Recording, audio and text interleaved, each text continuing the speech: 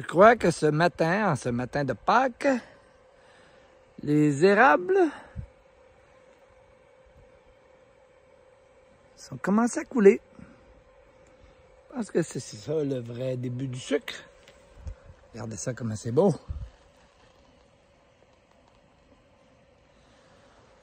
On dirait qu'elle se dépêche pour rattraper le temps perdu. On va l'attendre. Bonne journée.